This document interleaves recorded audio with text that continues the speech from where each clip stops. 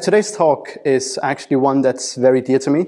Um, I spent two years being unemployed uh, while I was living in Denmark, and I decided that I don't want to go through that experience. So, for the next five years or so, I spent a lot of time focusing on picking up uh, skills that would be attractive to um, employers. And among those skills were coding. Um, among those skills were also uh, data science, data analytics, machine learning. So this is really a success story on my end. Um, and I'm hoping to share with you kind of the journey that I took to get here where I am today. So let's start off with a little timeline. Uh, in 2013, I graduated um, within a bachelor's degree in marketing. I despised marketing. I did my internship at Microsoft in Denmark as well. And um, I was really frustrated at how much at the mercy of your manager you actually were. And uh, especially with decision making, should we do X or should we do Z? And um, I just grew frustrated and I didn't know why. I didn't know there was like a better way of doing things. So um, right after when I finished my internship, I got offered two jobs one at Microsoft to continue within marketing, um, and another with Ubisoft, which is the games industry. Uh, and the one in Ubisoft was within business analysis, so I thought, okay, maybe that's going to help with my frustration. Um, so I spent a year and a half working day to day within a spreadsheet. And you get to become more frustrated with spreadsheets because they are so untidy. They are so, you know, you can't uh, store everything and they crash and you have to start all over. And it's, it was a horrible experience. So after one and a half years of frustration, it wasn't all bad, I'm kind of exaggerating. But uh, after uh, a year and a half with uh, working um, within uh, Excel spreadsheets and Google Sheets, um, I kind of understood the limitations. So, you know how Excel spreadsheets have like this limit of 1 million rows, and if you try and add more, it's kind of just crash. So I started taking courses uh, about how to use SQL. Um, like Tammy was mentioning before, here they also have a course about you know SQL for and data analytics because that's the next step if your data set becomes too big. So I went into data analysis and got offered a job here in the UK. So I moved away from Denmark where I had grown up and uh, came over to the UK to work as a senior data analyst. Within the first couple of months, I started asking so many questions. What's our monetization strategy? How do we plan on acquiring users? How do we plan on retaining users? And uh, it was a bit of a nuisance, but in a good way, because when you come in with a business mindset uh, into data analysis, you can actually see it from both perspectives. You don't have a technical mindset, you have more this business mindset. So uh, I quickly got promoted to a product manager. And product management is a really interesting combination every company has a completely different understanding of what a product manager is. Uh, some of you may already work as a product manager, others are looking to get into it, but there's no really clear definition of what product management is, especially in software and technology. So I started managing the important KPIs, uh, the metrics of the company, uh, and uh, did a lot of A-B testing to improve them, which led me to become this lead product manager. And around in 2017, I, uh, we actually got acquired by a larger company.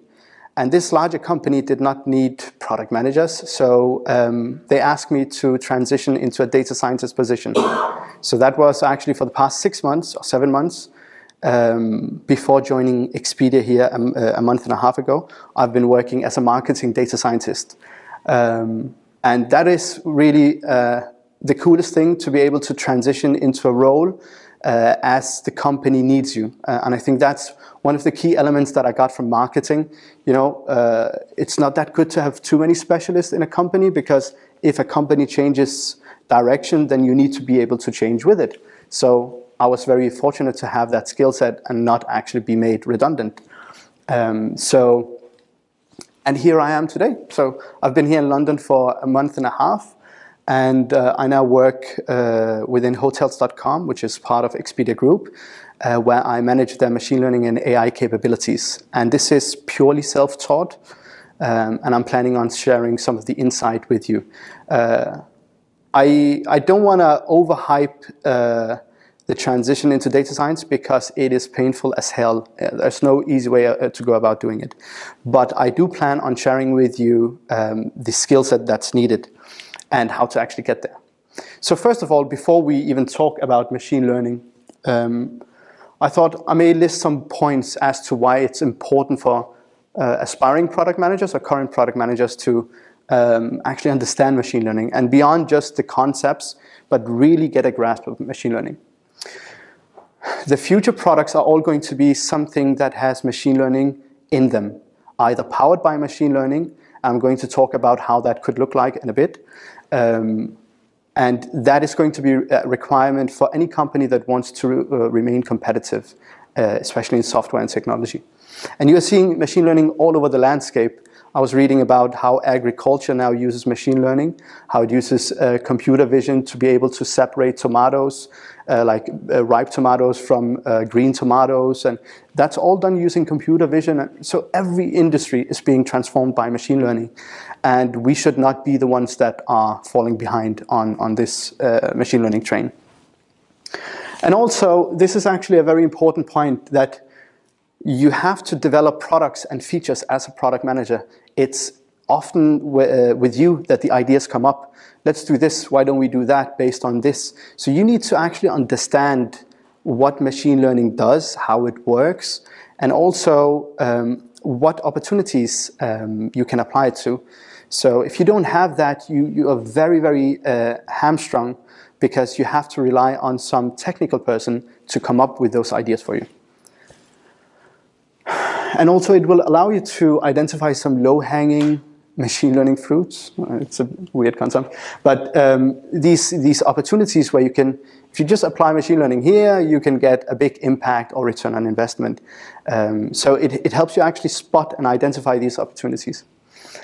Um, and more importantly, uh, like uh, i had a meeting at one of my uh, pre, uh, um, jobs and one person was saying, yeah, why don't we build a robot and that robot can then go and analyze the environment and then update us. are you insane? I mean, that's what Facebook uh, you know, works on these projects because they have hundreds of data scientists. So you need to be able to understand what's actually feasible. What can we uh, task our engineers with within reasonable amount of time? Uh, so it's going to help you with prioritization as well. And more importantly, uh, the hype. Uh, when I interviewed with Expedia, um, the director of data science, he told me, okay, so can you tell me about something, uh, you know, about machine learning that uh, we should be doing? And so I, I, engaged with him and answered a lot of these questions. And then he said, um, how do you go about separating the hype from actual features? Because that's a real issue. And it's bigger issue for product managers because if you don't have the in-depth knowledge, you're just going to be reading the news uh, and you know uh, thinking that Skynet is coming to take over the world. And all of this um, oversaturated focus on certain aspects of machine learning. And um, especially when it comes to deep learning uh, which I'm going to be talking about in a bit don't start with deep learning if you want to uh, learn machine learning um, so you, you'll be able to navigate the hype and actually understand where to apply it to. And yeah, you want to stay alive, so you better use it in your product because you, for a fact it's certain that your competitors does the same. And I think this is actually one of my personal uh, motivations. As I said before, I spent two years being unemployed. It was a horrible experience. Um, and I decided I never want to go back to that in my life. So uh, you always want to be as marketable as possible to recruiters. And these are skills, if you master them beyond the hype, that open up so many doors for you. And yeah, that's why the, the final point is there as well. Um, which means you'll always be able to actually find work if something happens to your company. So three types of machine learning. Um, I'm going to be focusing most of my time on supervised machine learning. Um, unsupervised learning, I'm just going to touch that a bit. And reinforcement learning, uh, I'm going to cover it with regards to uh, something called multi-arm bandits. You may have heard of that. Um, basically, uh, hypothesis testing and how it can apply to it. These are what is generally accepted as machine learning. Notice I don't have deep learning there. Uh, computer vision, all of these things, they're not part of uh, like traditional machine learning. Um, the reason why is because deep learning fits under artificial intelligence, and there is this is a big mess. Uh, there are no clear definitions between what exactly artificial intelligence is versus uh, neural networks and machine learning. But this is generally accepted for machine learning, and I'll show you some of the powers of using them in your products, and um, I'll show you some of the competitions I've participated in myself, and how you can, you know, apply it to very interesting problems. So let's get started. Supervised machine learning sounds extremely fancy, but in all honesty, what it is is just one big spreadsheet with this added column right here. So this is a competition I participated in whether so the, the competition was whether we could predict when a Brazilian patient was going to cancel their medical appointment. And what this shows is every person, this is uh, one row, has a particular, uh, some like this is their age, uh, scholarship, hypertension, some uh, disease here, diabetes, whether they have them or not, uh, alcoholism, and what level of handicap and whether they received uh, an SMS reminding them, oh, you know, you have an appointment tomorrow, come attend. And when they were scheduled for and when the appointment date was. So they give you this big data set, including what gender they were. And so what you have to do is analyze it and see whether you can actually predict whether a particular person, so if you imagine we remove this column and you receive every uh, column from M to A, but not the N. Can you then predict whether that person is going to cancel their medical appointment or not? And um, I built a model within 97% accuracy that could predict whether someone was going to um, cancel their appointment. And so this was a really cool way of actually separating the hype away from machine learning. Supervised machine learning. How many of you actually thought, oh, it's just a spreadsheet? I mean, it sounds really cool. You don't cheat, Joshua. um, so it sounds really cool, but uh, in all honesty, what it is is just a spreadsheet where you have a final target label. This is what it's called, and that target label is what you're trying to predict. So um, this is how classification looks like. You in classification, you want to predict one or zero. One is if the event happens, right? So here it says no, yes. So then you spend a lot of time cleaning that so that no is zero and yes is one. And then you want to predict that one. How many of those patients actually will end up having that one? Does that make sense? That's classification. Is this going to happen or not going to happen? Um, that's very different from, let's say, in financial work where you want to predict how much revenue we're going to uh, forecast, uh, sorry, we are going to generate, right? Because that's a big number that you're trying to predict. Here you're trying to predict whether a certain outcome will take place. I want you to try and expand uh, your, your uh, mindset here around classification. This could also mean you guys, you went to product school's website for this event. Okay, so we ha oh, they have your IP address, they know uh, which country you're from, they know your internet connection speed. Imagine all of those things actually being part of these columns. Um, how long you spent time on Product School's website, and whether or not you signed up to this event. This is how it actually uh, looks like. So I could build a predictive model using supervised machine learning, which is classification in this particular incident, to predict whether you would have attended this uh, session or not. So that's how uh, to go about identifying opportunities for machine learning. Are you dealing with uh, a feature, um, a solution you're trying to solve for, where you, you really need to know whether a certain event is going to happen in the future based on some data you have, then it's classification. Regression is um, It's not playing ball. Okay, yeah. So regression is, like I said, revenue, or it's these um, continuous numbers. Um, so on a scale from one to one million, that's what you're trying to predict an actual value. So this is another competition that I participated in, um, a Kaggle competition, if you've heard of those, where you have the day of the year over a two-year period, and what season it was, whether it was a holiday or not, what weekday it was, whether it was a working day or not, what the weather situation was like, the temperature, uh, humidity, wind speed, um, all of these different va variables. And then the target value here you're trying to predict is how many people uh, rent a bike to go to work. So can you predict what the actual number is for people uh, split by day for the next two years? How many of them are going to be taking their bike to work? And you can. This is what it's so powerful.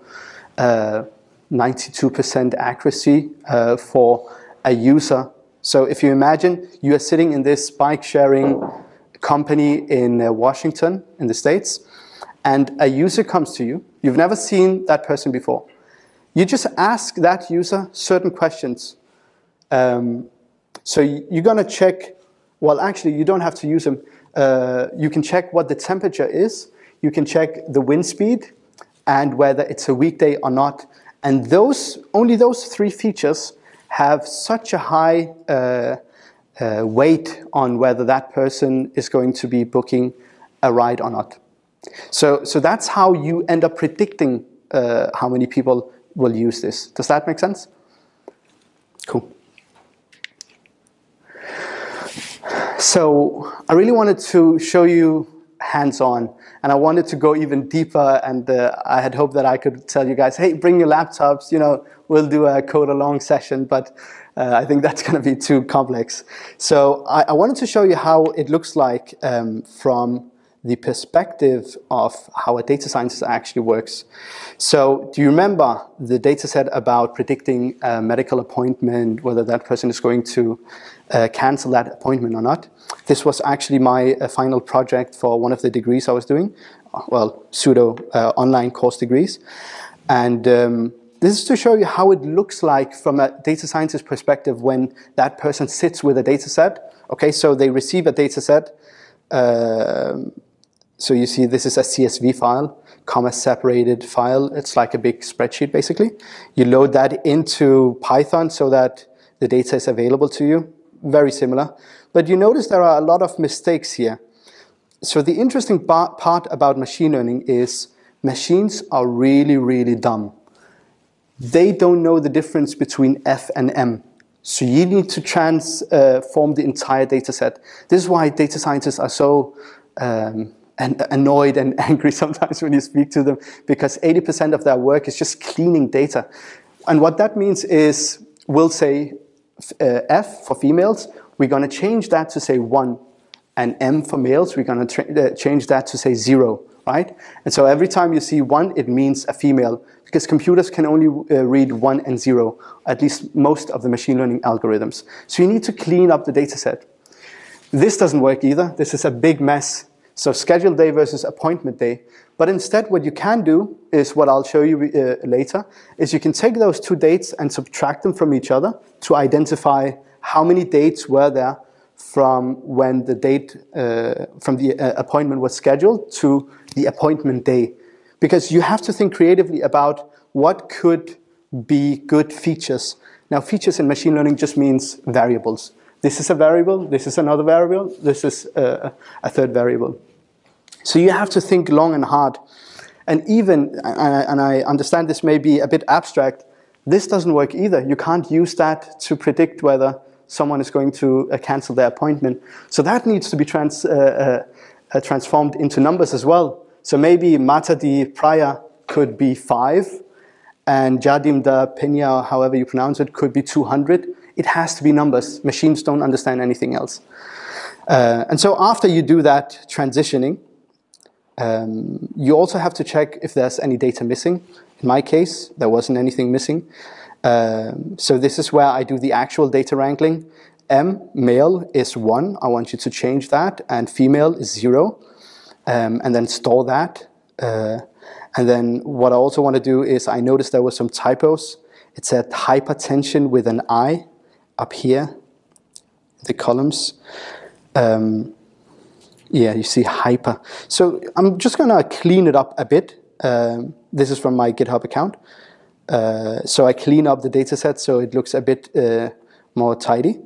And uh, what I then do is I'm, I'm going to be adding, instead of it saying yes, no, whether a patient showed up, if the value I want to predict, it always has to be one. So uh, no show, meaning one, means that a person did not show up. Every time the, the value that you want to predict has to be one. And zero is the uh, class that we uh, are not that interested in. And then I look at the distribution. So how many zeros? So how many people attended or showed up for their medical appointment? Okay, that's 88,000. And how many people canceled? It was 22,000. Um, so yeah, that's 20% of my records that did not show up, or 22% or 20% of patients that didn't show up. And so you also, this is the most important aspect, and this is where a lot of junior data scientists get it wrong, is they don't explore the data set. So here I'm, I'm, I'm looking at the age range. And if you notice, there is something weird. Can anyone tell me what's weird about the age range here? So this is the smallest value and this is the largest value for medical patients that have canceled their appointments. Anyone? That's a very good point. Anything else? Yes, another. Would a two-year-old cancel an appointment? It's a very good point. So there are zero-year-old, um, or maybe even a 115-year-old. So these are what you call in statistics outliers. Think about it from a perspective of statistics. You want to build a model that's going to predict based on age and a lot of other variables whether a person is going to cancel their appointment. But in that data set, you have these extreme outliers. They're going to ruin your model and it, uh, going to make it less useful. So you have to delete those records. That's one way. You can try and predict what they actually would have been, you know, because sometimes it's a manual type error. Like a human was entering, oh, you are this old, you are that old. So you can try and predict what the actual value is. But these are some of the considerations data scientists have to make. Um, and then I'm trying to visualize it. Okay, so because we only have a few people that are above the age of 100, let's get rid of them from the data set because they are going to skew the model entirely and make it, uh, make it uh, less useful. Um, so this is basically, I'm trying to show you how a data scientist thinks about the data and, um, and how you visualize it. So when you get further down, um, Notice here that the gender is now changed, 0 and 1. And uh, further down here as well, after I'm doing some more cleaning, you'll identify this process here. So this is days delta. Days delta basically means from the day they booked the appointment to the day they uh, had the appointment, how many days were in between them. Do you think that could play a role in whether someone was to cancel or not? What do you think? Yes. What about if they didn't receive an SMS and they had booked 15 days ago? Do you think there could be like a correlation between that? It's a very leading question. Uh, so, but this wasn't available in the data set, so it's something you have to create yourself. Uh, so I'm, I'm, i hope this was a bit of a helpful exercise. Um, and I can go on for ages here and talk about it, but basically that's the process of cleaning data uh, for a data scientist uh, to build a model that can predict how accurate it is. So back to the presentation. In fact, one of the most important concepts in data science, and this actually blew my mind when I learned about it the first time, how do you take historical data and predict on unseen data, like new future uh, uh, examples of patients coming in? How does that work? So in classification, this is how hacky those data scientists have been thinking. What they do is they will take, let's say, 20% of the data set. Uh, I've only taken 10 uh, uh, patients here. So they take 20% of the data set, remove it, okay? And then build a model with all of these target variables available to them. And because we know for the final two, or for the final 20%, what the actual value is, we are not going to tell our machine learning model what the values are. So we are going to treat them as new people coming, uh, new people having booked, and we want to evaluate whether they are going to cancel their appointment or not. So we hide it from the machine, but we know what the truth is. And after you build your model, you then test and see how accurate it got those predictions. That's how machine learning actually works. Uh, you always take a bit of the data you have, you separate it, that's called the test data set. You have the train, this is the 80%, for example. And you take a holdout data set, the test data set, and you know what the actual answers to them uh, to the to the uh, to, to the test data are, but you are going to obfuscate that to the AI, um, and you're going to tell them, well, I don't know whether these people are going to show up or not. So you tell me, and then you can double check if they if if the machine learning model actually said no, they are going to cancel, and no, the other person is also going to cancel you know you have a very accurate model. Make sense? Okay, so. Quick question. I guess they would spend a lot of time thinking which 20%, right, to make okay. a uh, very good kind of uh, sample. Right? Very, very good question. And uh, this is um, so within machine learning, you have this concept of I am not going to cover it. Uh, actually, I don't have any slides to cover it in my talk today. But the concept here is, do you just take the bottom 20%? Do you take the first? Or do you randomize it? So you can randomize it. You can shuffle it.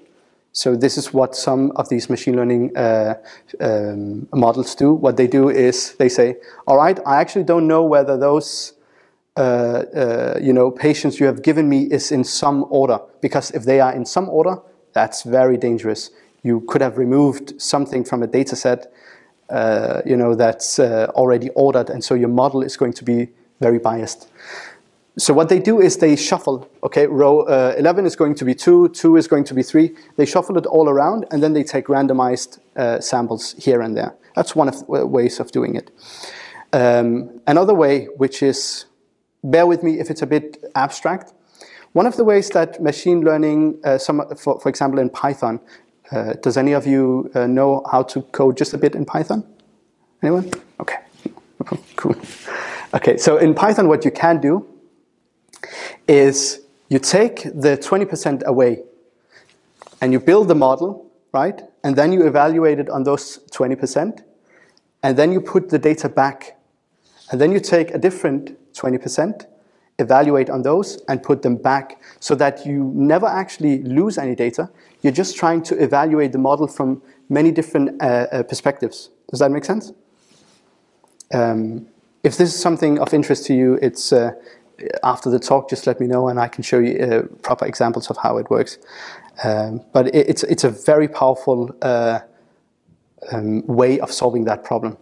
It's like uh, A-B testing, you know, you, do, you don't just say, oh, every male that sees this website, you see this variant, every female sees that variant. That's not, never going to happen. So you randomize it so that your results are going to be more uh, uh, solid.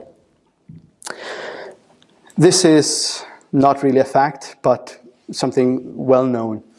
Um, the reason why I'm not going to cover deep learning is because it's only applicable to very limited um, problems. Okay, I attended a talk in uh, Copenhagen where the data scientists were saying we deployed deep learning on this and on that, and you're like, what the hell are you doing? Uh, uh you're basically just a big buzzword because the, uh, deep learning is uh, getting beaten in performance by um, oops, by uh, many of these uh, algorithms like decision trees, uh, XGBoost, random forest, uh, it's getting beaten on performance and on accuracy for supervised data, right? Um, so I thought this is actually a very uh, interesting way of visualizing how machines think. This is from Luis Serrano from Udacity.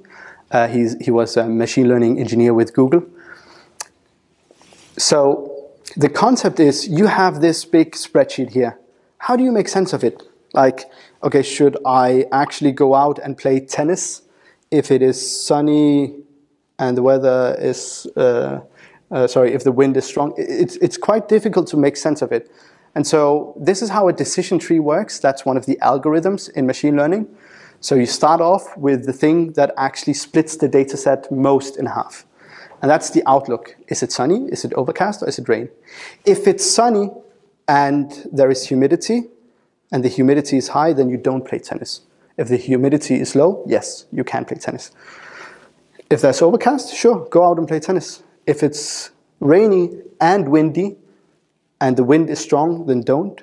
If it's weak rain, uh, sorry, if it's weak uh, wind, then you can. That's it's saying exactly the same thing as the spreadsheet, but in a way that's more uh, that's easier to interpret. And that's actually one of the most powerful machine learning algorithms. Question just on when you have, I guess, a large number of variables that you could pick. Mm-hmm. How do you choose which ones to use? Do you have to kind of use statistical significance to see actually we use these five or six based out of the twenty? Or? So with this particular one, um, you just look at which of these variables will be able to separate the data so that half of it uh, is, is in one camp and the other is another camp. A good example is this room here. If I were to split you up in a way I think it made the most sense, that would be male and female because the ratio is maybe 50%. So in, in a way where the, the first split you do has to be able to uh, split whatever population you're looking at in two equal sizes, right? And that's how it goes about it. It's not much to do with statistics or anything with significance. It's just how, how can I increase the information gain? So this is in computer science called entropy, um, but it's a bit beyond this uh, kind of primer to, to machine learning. Okay, so I wanted to show you how it works. Uh, so for linear regression, if you remember the bike sh sharing ride, uh, that was linear regression. You wanted to predict a number that was moving, right? So in this example, okay, I work uh, within the travel agency or industry. So we have here on the y-axis, that's always the, uh, the variable you're trying to predict. So I want to predict what the gross bookings in US dollars is for a hotel room, okay?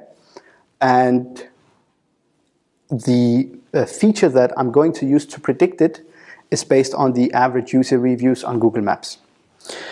So the way that it works is I plot these in. So this means that particular hotel got, let's say, 0.8 in average uh, reviews out of 5. So, and it only generated this low amount of revenue, okay? So every point is a unique uh, uh, example. And I'm gonna plot out the, the entire uh, graph here. So the way that machine learning works, and I'm sorry to tell you there's not a lot of magic, but uh, so yeah, so the way that it works is you plot them all out, and then you have this line that's going to be fitted in between somewhere. You have to figure out where that line should be. Anyone can, can anyone guess why you're gonna put a line there? What's that line for? Think about the 80-20% split. What happens when we get new um, data, right? So, oh, we have another hotel room here and a third hotel room there. How much revenue is that hotel room going to predict?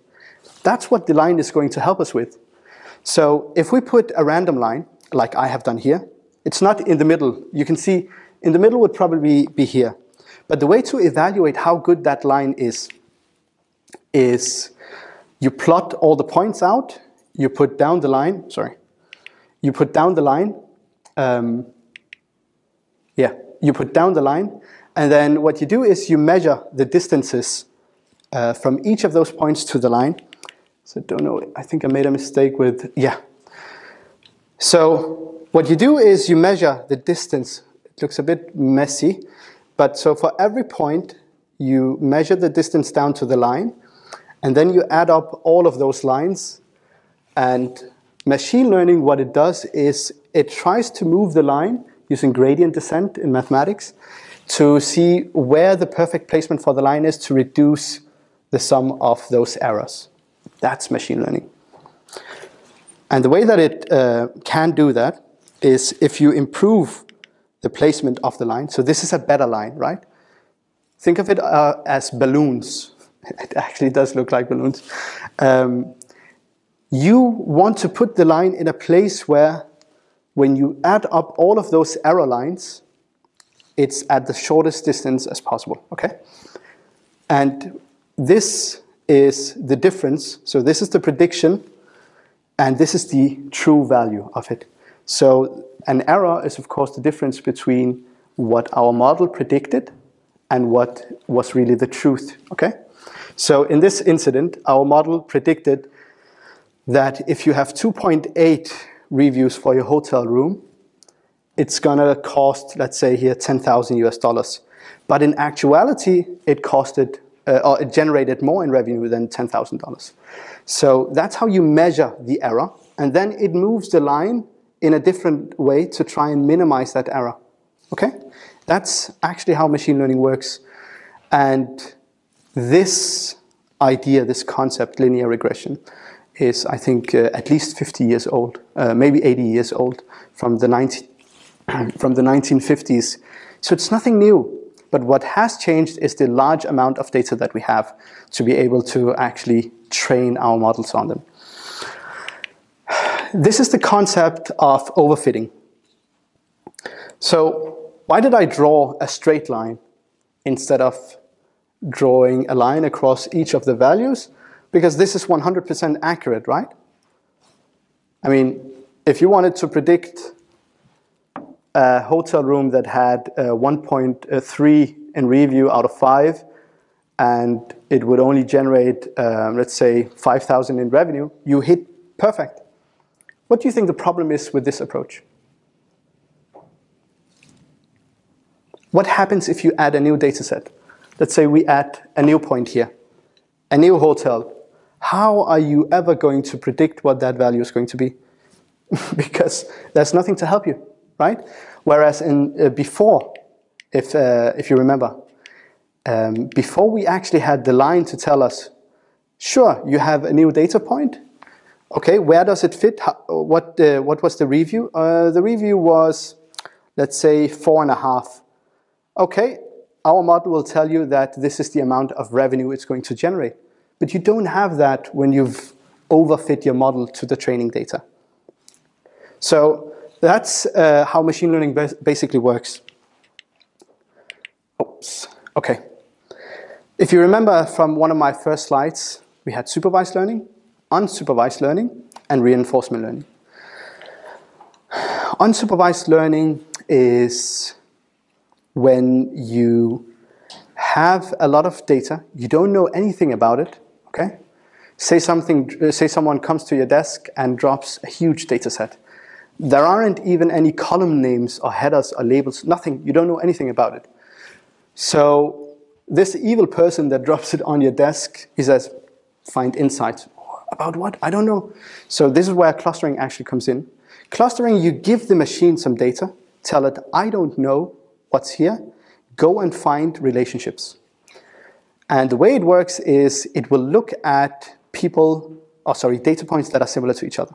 For example, in the example where you know each of us went to product school and uh, signed up for this talk, uh, this is a labeled data set, meaning that we know whether you signed up or not.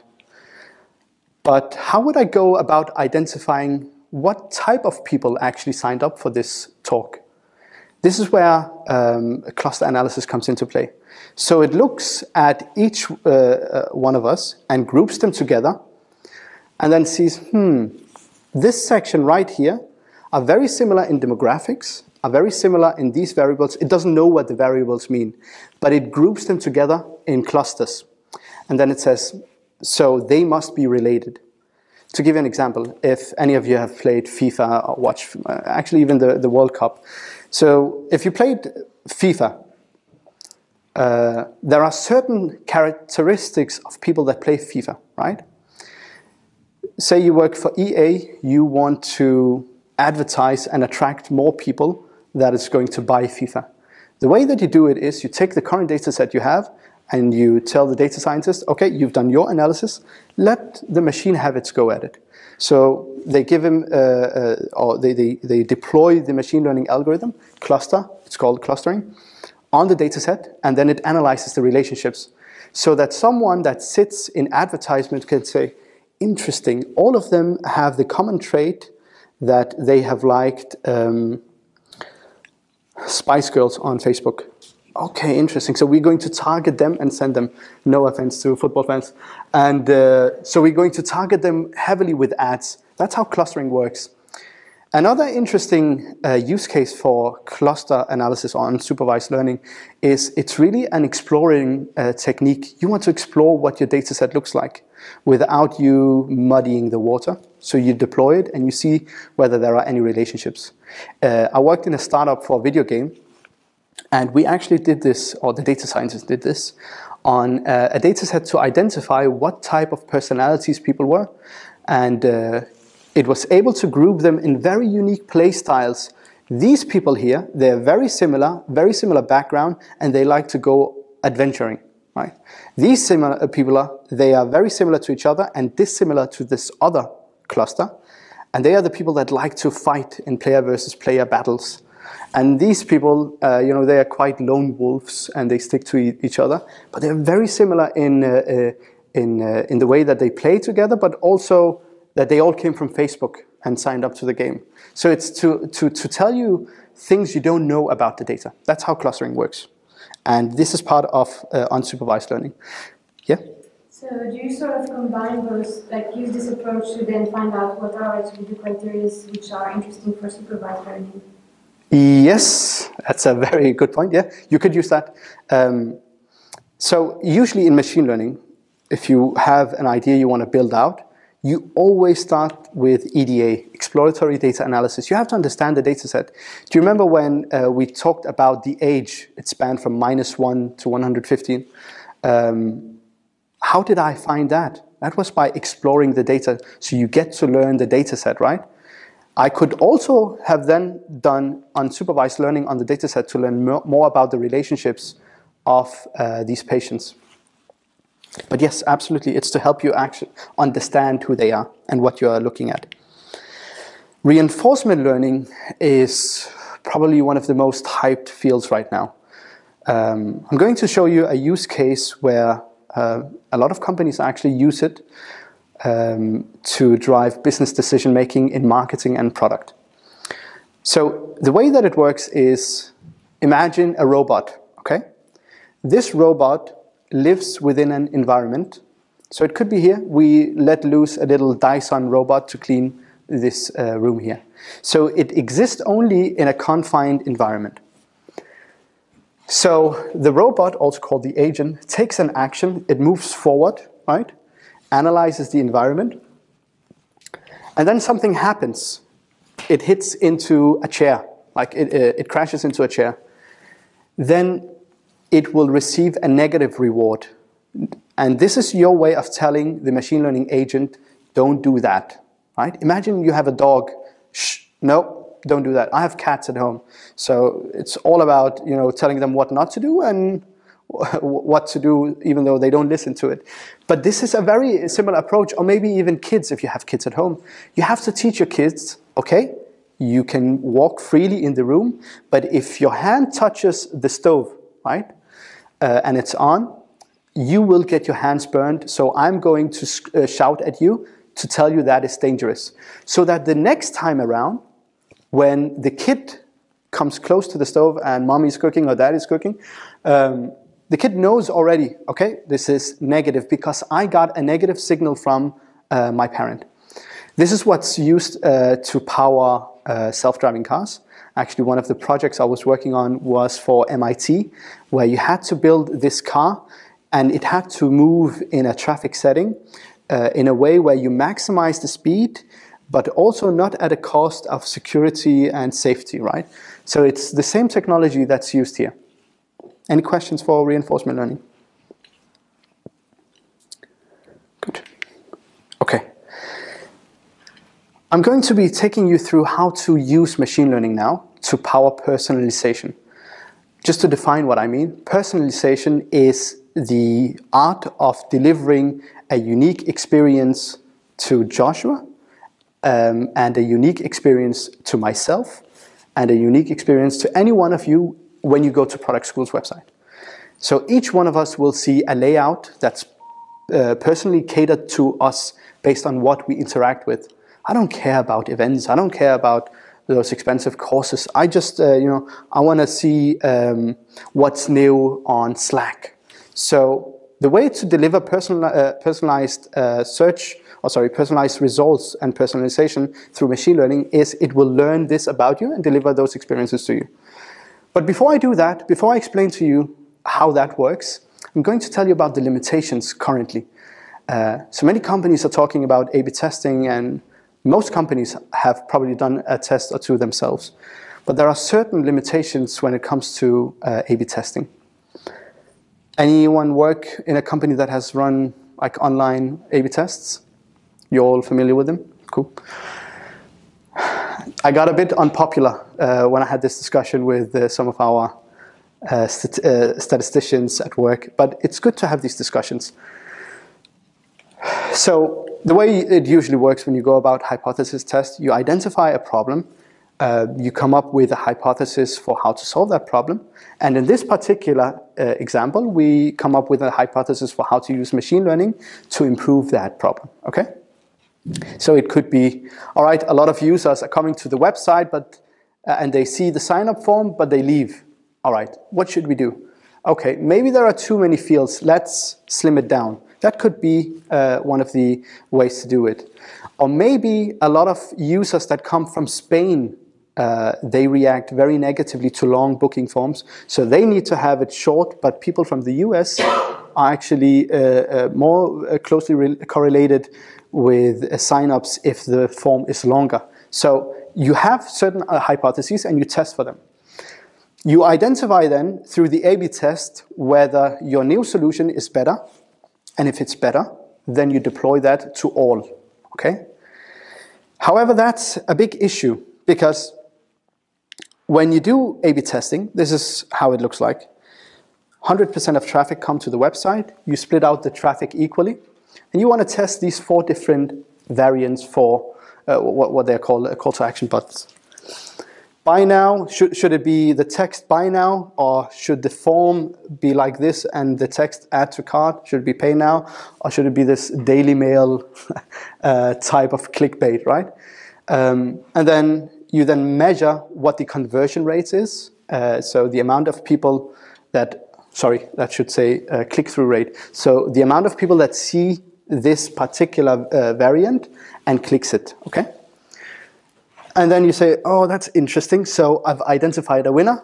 Let's push this out for the entire website to every user. This is actually problematic if you think about it.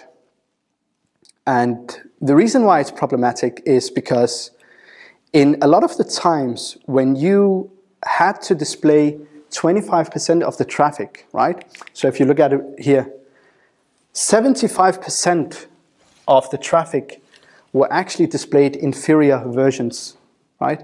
If you have an e-commerce website and this variant is the best performing one and it took you a month to conclude this result, you still send 75% of the traffic to uh, lesser performing uh, variants. Does that make sense? This is actually uh, one of the biggest uh, limitations. I'm not going to use the word, uh, word weakness, but the biggest limitation with A-B testing, it's that it doesn't even care. One of them could even be bleeding money, but you need to keep running until the experiment finishes.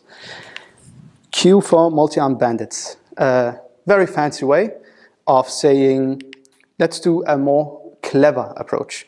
So multi-armed bandits, you start with the same, you split the traffic equally for, let's say, the first batch of visitors to your website. But then what you do is you note down the performance of these variants, and then you update your entire model to drive more traffic to the top performing variant, less to the lesser performing ones, right? And this continues.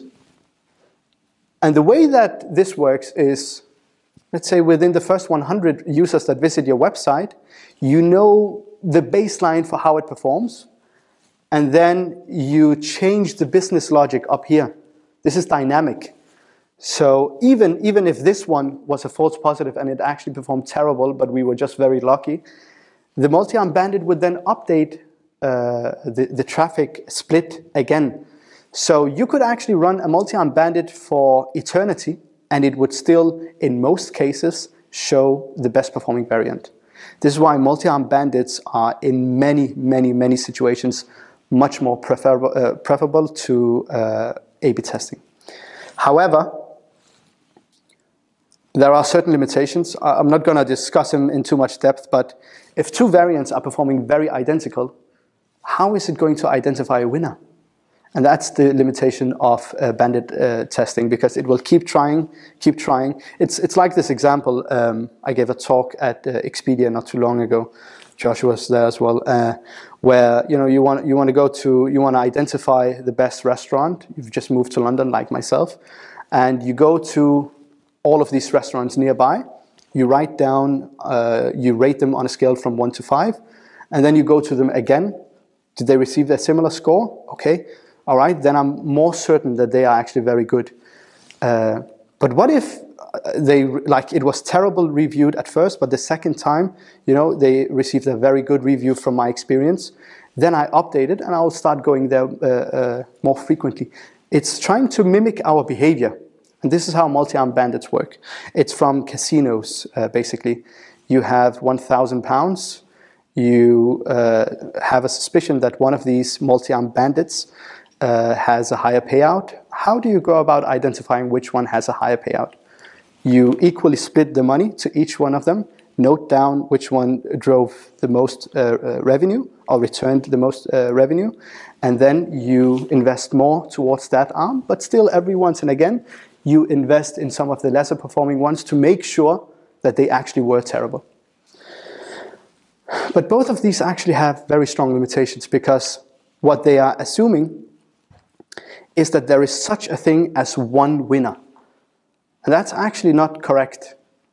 If you think about it yourself, um, when you go to a restaurant, or actually, if your mother came to ask you, recommend to me a restaurant, would that be the same restaurant you would recommend to your mother as to your partner, or as to your child, or as to a family that, that is uh, asking?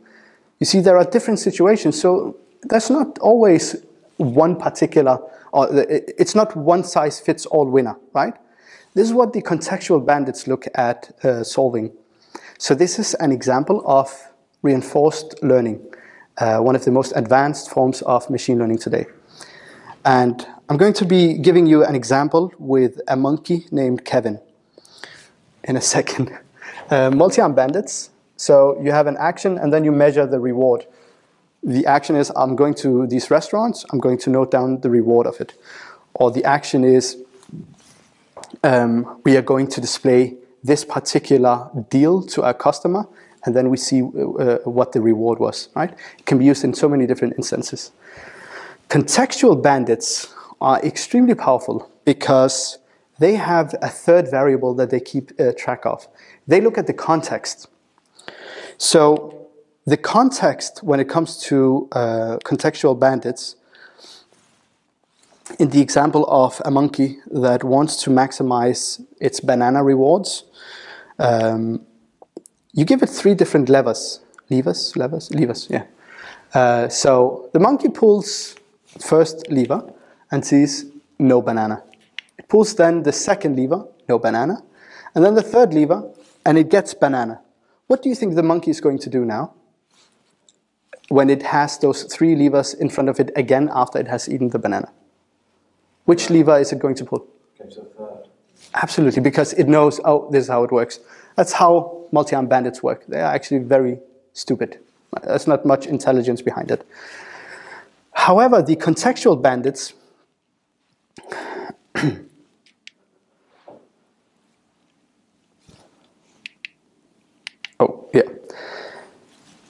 yeah. An then, uh, like the gentleman said, it's just going to keep pulling that lever because it thinks uh, this is this has the highest reward.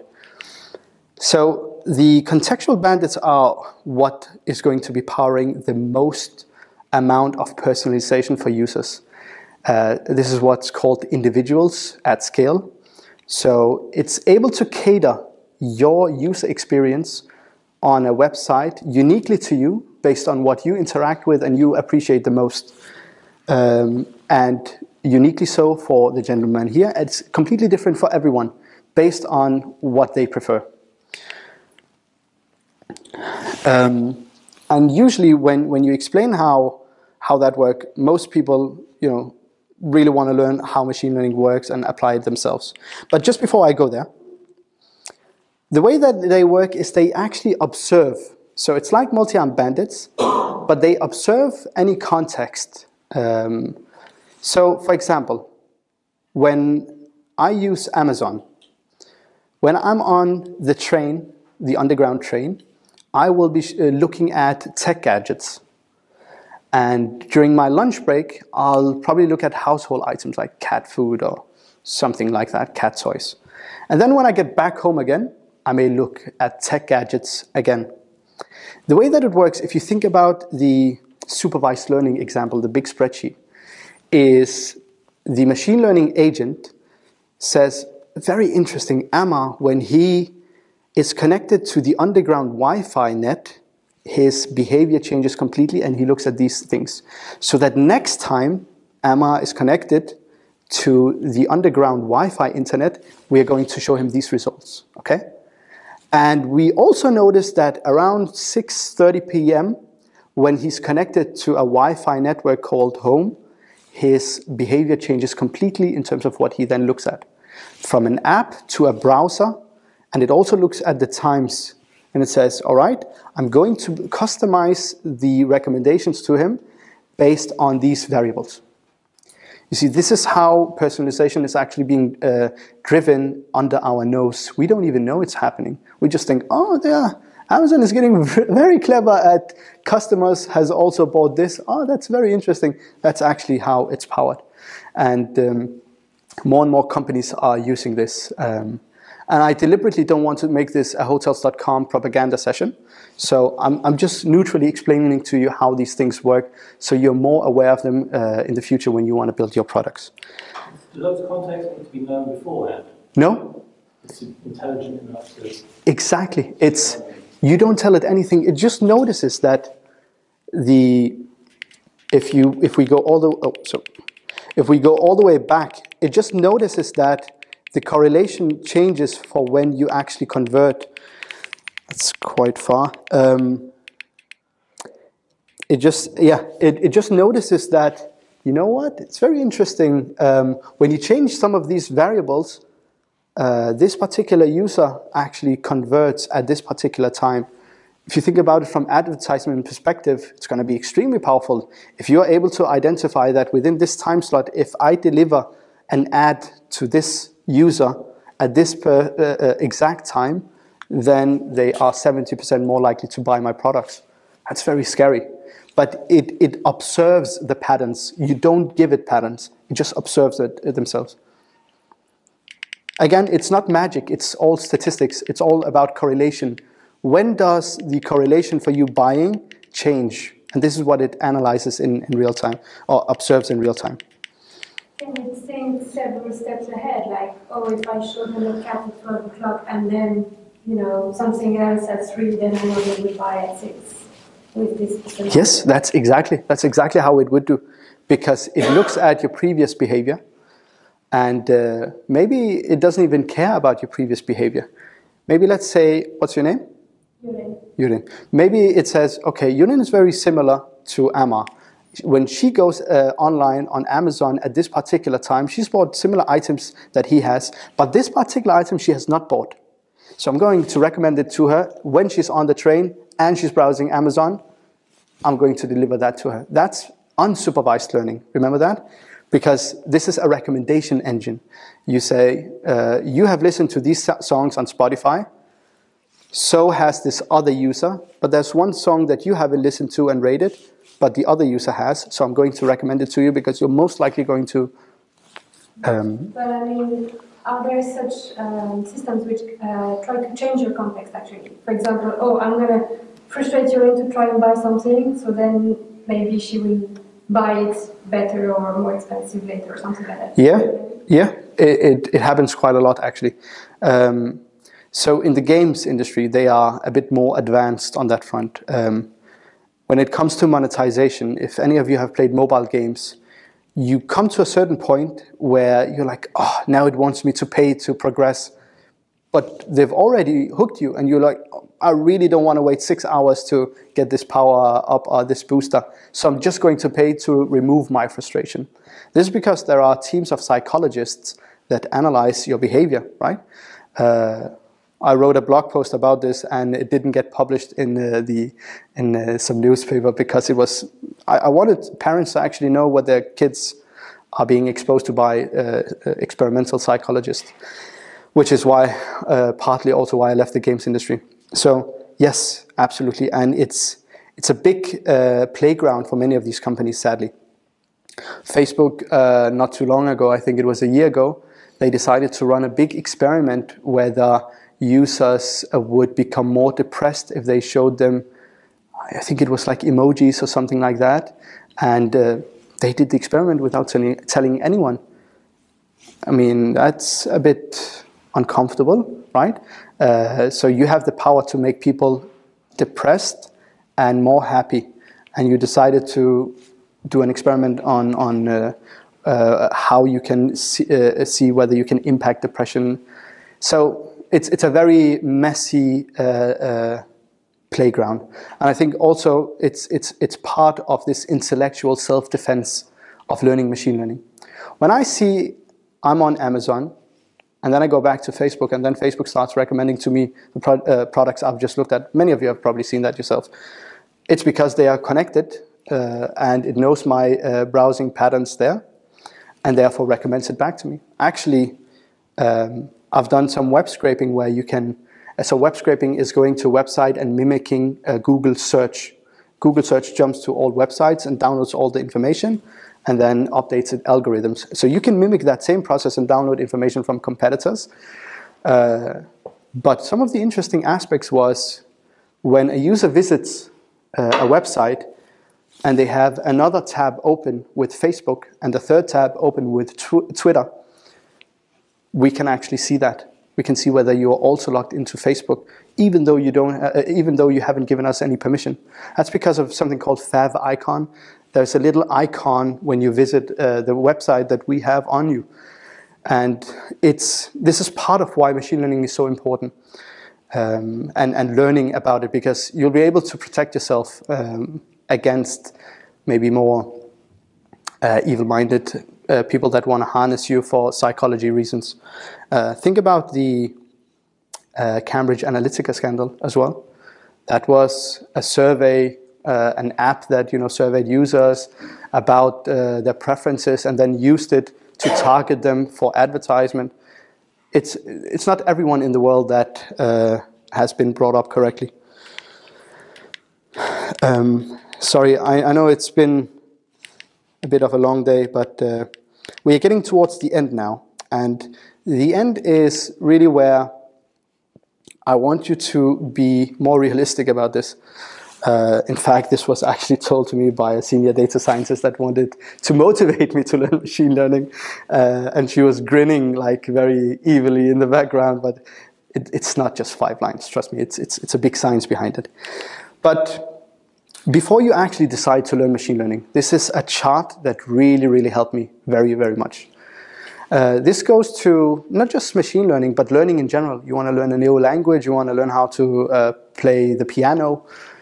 It always follows this pattern.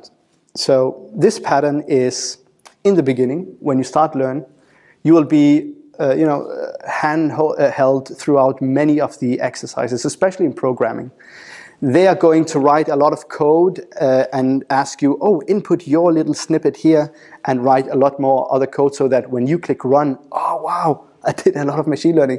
But in fact, someone, actually an engineer did that for you so you could feel cool. So a lot of hand holding which gives you fake confidence. And then you're like, all right, I want to do this, uh, my own project, and you know, get on with it. And then you're like, wait, where do I start? and then you're like, oh, I actually know nothing, right? And this is where you are going to be spending most of your time, honestly. Most of your time, if you decide to learn machine learning, is going to be tanking here. And this is a test of your mental uh, ability to persist in something that's difficult, especially with uh, coding. I think I have probably tried to learn how to code 30 or 40 different times from different websites until I finally got up and running. And I bothered uh, the, the startup I was working in, the web developers, oh, can you just look at this here, right here? And I'm stuck here, can you? But I then started to be able to code and uh, it's, it's a tremendous joy that you can actually pull it off. And I think uh, from Temi's uh, uh, introduction earlier that they don't want to build you as a web developer. That's very good uh, disclaimer to, to, to give uh, to people that are learning to, to code. But then what happens is you then start to realize, okay, I can actually do this. I'm, I built my own model. I can predict whether someone is not going to show up for a medical appointment, and I understand what I've done. More and more confidence, and then you get to where you are with being job ready. So please take this as a disclaimer that expect uh, to be down there for a lot time. I probably spent two years down there, and that was with having a mentor as well. And I thought I had uh, difficulties with learning, um, and she was just laughing at me and saying, "Are you silly?" But okay, so let's start off with what not to do. The worst you can do is say, oh, all of these machine learning courses say, I need to learn linear algebra, I need to have control of, uh, of calculus, derivatives, uh, chain rule, this, oh, wow, like, okay, so I'm gonna go on Khan Academy and I'm going to go through everything. That's the worst thing you can do. Uh, because it kills the joy, it kills the excitement of you know trying to learn something new. Uh, so don't do that. This is a, an interesting quote. Um, it's actually a true quote that you know it's such like the multi-armed bandits that I was showing you earlier. The math that goes behind it is something that they were considering to drop over Germany, um, the Allies, uh, because it was just intellectual sabotage. So don't don't try to intellectually sabotage yourself, and also don't isolate yourself. Um, go to talks, meet other like-minded people. Uh, if you work with people that are already coding, uh, ask them questions. Um, and I think that's one of the most important parts that you don't just limit it to you being at home, sitting behind a screen and coding, because that takes the joy out of it. Maybe I should have put complete idiot, uh, because you will feel like a complete idiot uh, when you start this. You feel like that you wasted a lot of your time and, you know, wow, I know nothing. Yeah? Are you saying that it's the coding side that's the complicated bit or the ML side of it? Of, of what, sorry? Of this learning ML? I'm saying that the theory behind it, the mathematical concepts, are so heavy, right? If, like, for, for example, uh, I failed college math when uh, I was younger. And uh, I then retook math again and failed it. So for me, my journey was much longer than any of you. I mean, if I show you my Khan Academy, Khan Academy, I started from third grade going all the way up to uh, college level and then to university level, and it, it, it takes the fun out of it. Um, so don't start with the theory. And instead, what I'm going to be recommending is start applying machine learning, even though you know that they are holding your hand, just start applying it. Um, and then as you're applying it, ask curious questions. That is the best thing you can do. I, I wonder why this particular algorithm had a higher accuracy than, than, than that one. I'm going to show you in a bit uh, some of my own notes and, and lessons uh, learned. Um, and when you study one concept, don't try to rush through it. Really try to understand it, master it. Make sure that you can explain it even to uh, a kid, right? Um, think about it when, when you're interviewing with companies, they often ask you, oh, uh, try to sell me this pen uh, you know, uh, or try to do this or explain that, explain databases to a kid. Like I had that one question when I interviewed with Facebook ages ago. Like, okay, right? So if you don't really understand it, then you can't explain it to a kid. Uh, so, so try to really make sure you understand these concepts, and particularly these concepts here. Uh, this is basics in machine learning. You don't need to take any pictures. Um, and actually, this is true. Um, pretty depressing, but 50 online courses, 40 uh, something certificates, 150 Kindle books uh, that I've read through, even more hours of YouTube. and I've, I've really gone through everything that you can mistake. So this is kind of uh, the lessons that I draw from it. All right, that's not the one. Sorry. Um, yeah. This is basically the best path you can take to learn machine learning. Intro to Machine Learning by Udacity. It's taught by Google X founder, uh, so uh, Sebastian Thrun. He is the he was leading uh, Google X division and decided to just quit his uh, role and set up this company to teach people uh, all of these computer science and machine learning. It's very cool because he's one of the founders of self-driving cars, and he explains it to you in his own uh, words and very simplified and you can tell this guy knows what he's talking about because he's able to explain it so that even kids understand.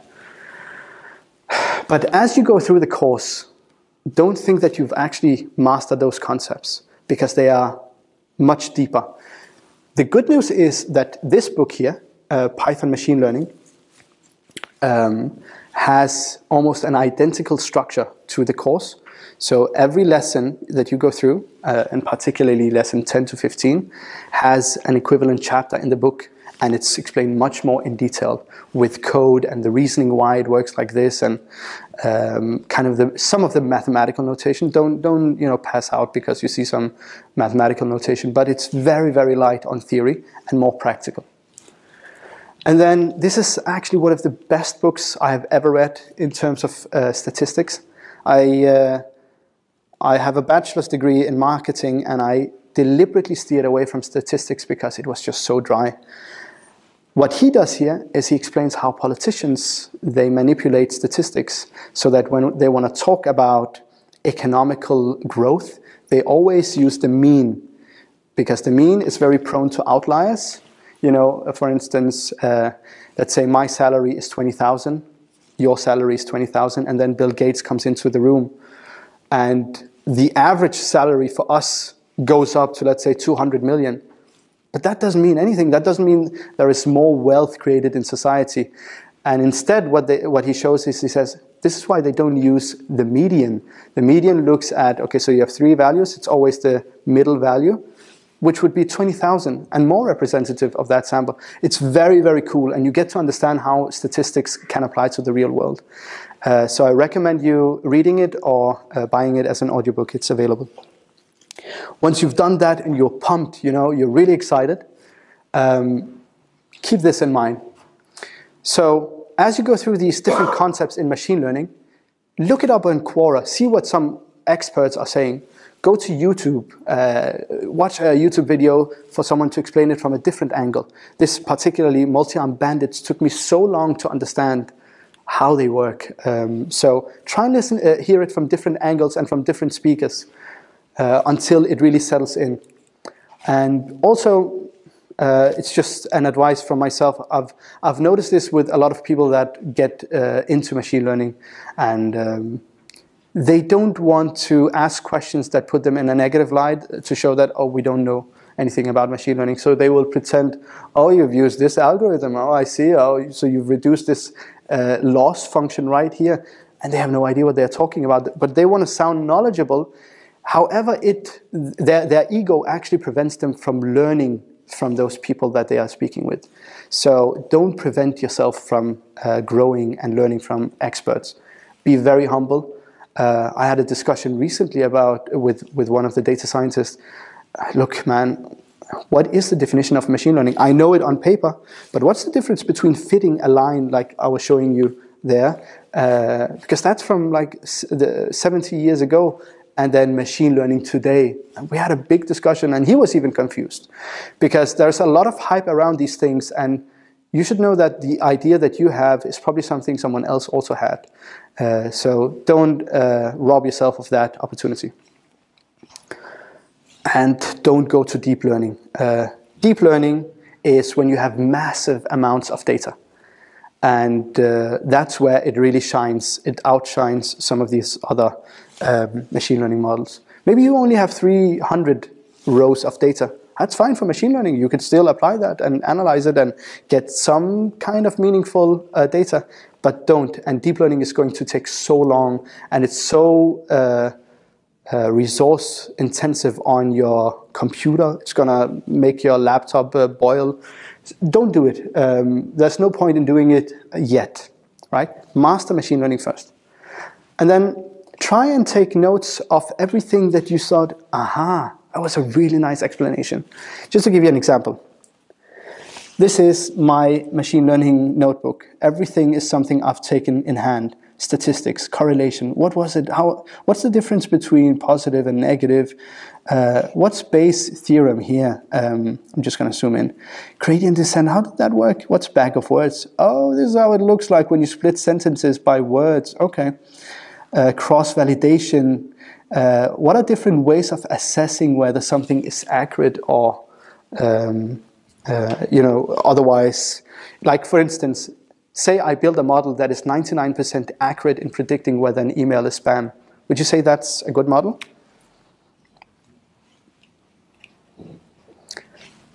It's one of those questions where you really are hesitant about answering it because you know I wouldn't ask you that obvious question. It depends. Because if 99% of your emails are all non-spam, then you could just build a dumb model that would predict every email you receive is non-spam and it would be 99% accurate. So accuracy as a metric doesn't even matter, right? There are different ways of evaluating uh, accuracy as a concept.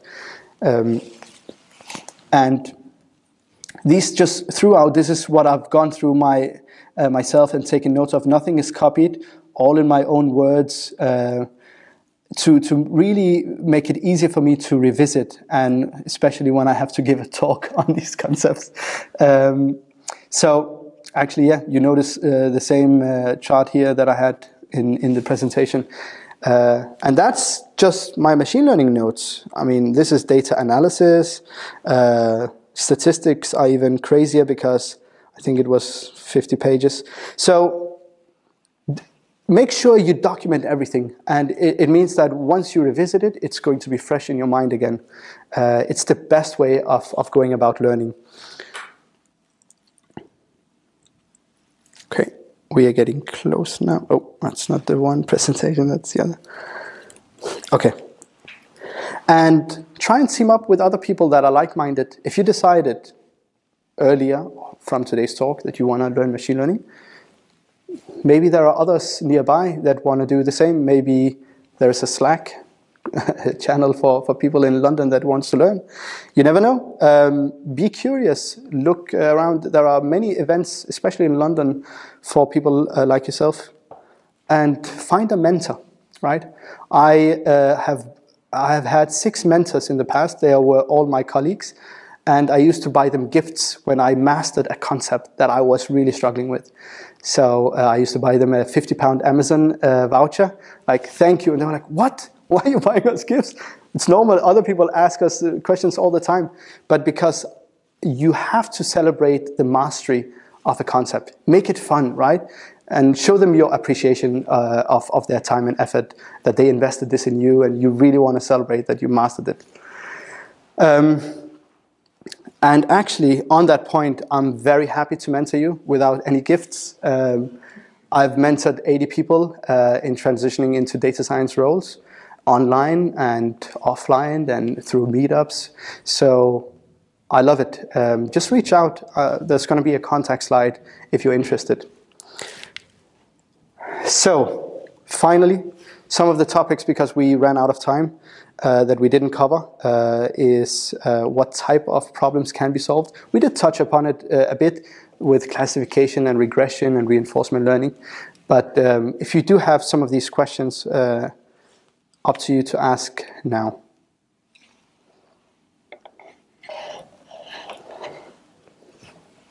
Um, there is a different level of mastery of the concept depending on what we want to do, right? Uh, so some Yeah. of us will want to become data scientists, uh, and some others will be like, oh, I just want to understand enough to be able to grasp the concept, the possibilities, and so on. So um, how to know how to learn depending on what your goal is, because Hmm. what you presented is like if we want to do the same as you, but maybe it's a, it's a bit of an overkill for some of us. Sure. How else can we do? it? The best approach is by starting with a breadth, like a very broad spectrum. So you, uh, you study the different concepts of machine learning. You don't have to go into much depth, but if you have a curious mind and you're like, oh, that was very interesting. Like one of the concepts, dimensionality reduction, it's very interesting in machine learning. You have a huge data set with many columns, but it's going to take your model so long to actually use all of those columns in uh, predicting. So what you do is you take away all of the useless concepts that don't help uh, improve the accuracy. And this is very similar to when you have, like, I take a, a high quality photo of you, but when I send it to your email, I'm going to compress it. There's no need for it to be five megabyte, but it's still almost the same quality, and it's the same here. So if you get, if you find yourself more curious into diving down deeper, uh, then you will find out with yourself as well that oh, maybe I have a scientist mind, um, even though you may not have that uh, trajectory through your education. It's, it's, I think the best way is sit down, look at it. If you want to understand it from a product management perspective that you are going to work with engineers, perfectly fine. But you still need to go through the different concepts to have that appreciation. And then further down the line, you can decide. I didn't make up my mind when I started studying. Um, I could have gone both ways, either data scientist or just a product manager with an appreciation of machine learning. But at least when you are further down the line, you can then make that decision yourself. Um, if, you- if you start making suggestions based on this ML, how do you stop the following behaviour from influencing, you know, because you're introducing a sort of bias in behaviour, and if you continue to evaluate it, you're going to be steered in that particular direction, aren't you? It, depends uh, what what the, the example is. For example, if you find out that people um, that have liked different pages on Facebook react positive to an ad, are you going to recommend other people to like that page so that they also respond to your ad? Or is that purely coincidental, right? So it's not always about changing behavior. To give you an example, people come to a website, they all interact with, let's say, the filters. So a product manager gets a clever idea, okay, let's promote those filters because this is the trait and behavior of very profitable customers. That's a big mistake. That's in, in statistics, you know, saying that correlation does not equate uh, causation. Uh, it may just be a trait they have, but has no impact on uh, the reasons why they are actually uh, highly profitable. There are many different uh, use cases, but I, I- think you would have to ask a more specific example if you had one in mind. Um, I'm just thinking from the, the work that I'm in at the moment and how we could apply this um, in uh, a risk management perspective. So by tracking the way people enter data into the system, if you started making suggestions to them about what else they could consider, once they start doing that, then you, you start steering the kind of data that they're entering. Mm-hmm. You end up in the feedback loop, essentially. Yeah, but so so what could the consequence of that be? Wh- What's what's the fear? You could be influencing their decision making Well, that's why many people are hired in business to optimize for conversion, right? I mean, it, it's basically looking at it from different sides. Either you take the position of the user and say, you know what, I'm not going to influence the user and make it easier for him or her to convert and buy my product. But then you can't work in business, right? Or you're going to say, I'm going to optimize that user journey to the extent where uh, eh, they are more likely to end up buying our product. But you've still then influenced that behavior, right? So it's, it, it depends how you look at it. Um, but machine learning is all about helping people buy your product, basically. So um, I'm curious to have your perspective on. Um, so during all this, we try to put order into people's behavior, but what if actually people don't want or are not ordered or don't want order into their behavior? One example is uh, recently with the GDPR. So they they ask you, do you actually want us to collect all this data in order to give you a better, more personal experience? And I found myself being like, no, actually, I don't want a personalized experience. I just want to do my own thing and wander around and so on and see what happens. Exactly. I think that's the balance. So, in many European uh, states, the law and legislation is viewed as the necessary evil. But in fact, it's not a necessary evil, it's to protect the people from corporations that have the objective of pure profitability. I mean, if, if you have this all out profitability focus, uh, the corporations are going to not just destroy the environment, maybe some of you are, are aware of it, and pollute the environment. Um, they can have their full say just to generate profitability. This is more maybe a philosophical discussion about capitalism and its impact on uh, how uh, profitability is the only, oh sorry, how uh, um, revenue is the only uh, material value that's appreciated. There's nothing called ethics per se. There's nothing called morals. Uh, at least it's being reduced, uh, and you see that especially in the states. But it's it's a very difficult area to traverse. One of the points I'm particularly following is in reinforcement learning, you have to teach the machine learning agent what's right and what's wrong. But how can you do that when we as humans can't even agree on right and wrong? When is it right to take the life of uh, an infant? When is it? When does it have a soul? When doesn't it have a soul? When should uh, abortion be, you know, uh, forbidden? At what point in the pregnancy? There are so many issues. Should uh, uh, cannabis be legalized? Shouldn't it be legalized? So if you as a society cannot agree on what's right and wrong, how are you going to teach an agent what's right and wrong? This is why you have a lot of bias being introduced, like you mentioned earlier as well. Um, like that bias, you are introducing it to a machine, and then you think the machine is being objective. It's not. It's being trained by subjective individuals. If those individuals happen to have some racism in them or happen to have some concepts that are going to uh, steer them in one direction, it's going to impact how that agent operates. For example, Facebook, uh, there were several reports that they uh, penalized right-wing posts and uh, promoted left-wing material. Is that right? Is that like between right and wrong? How, how can you even prove that that's right? I'm not saying that it should promote more right wing, but at least have that discussion, right? So it, it opens up a lot more philosophical conversations. And as a political activist myself, this is a very interesting conversation uh, to be had. And I don't think people can uh, come to a conclusion with it. Um, and the difference is if you, as a parent, raise your child in a wrong way, it's going to have a limited negative impact on society. But if you're going to be building AI agents who are massively going to impact hundreds and millions of users, you really need to be sure what the engineers are putting down there in the code and the way that they train them. Can you talk about uh, next big opportunities for Expedia in Chennai? I can't because I didn't uh, send this past their uh, communication. Um, so I, that's why I wanted.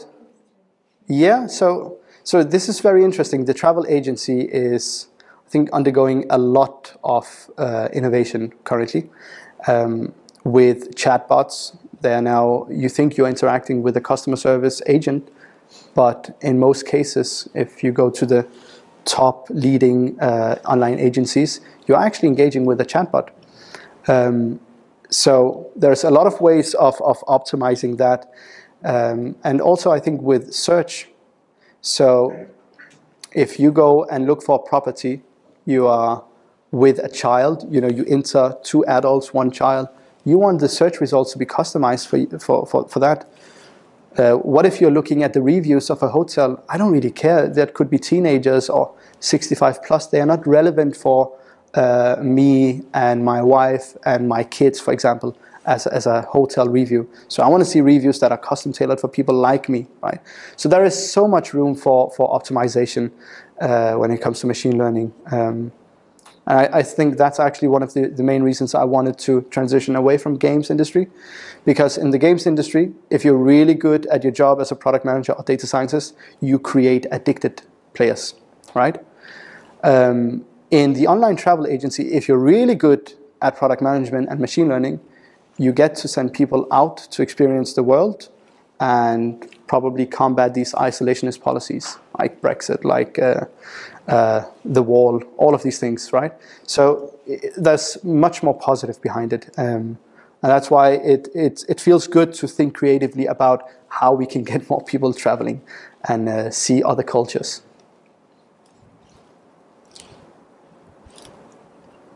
Okay, so feel free to reach out. That's my email, it's my LinkedIn, and I am uh, a bit active on Quora where I write about these topics, the intersection between product management and machine learning. And again, if you need a mentor to help you, whether that's through coding or through data science, data analysis, um, don't hesitate with reaching out. Thank you so much for being here today, and I really appreciate it.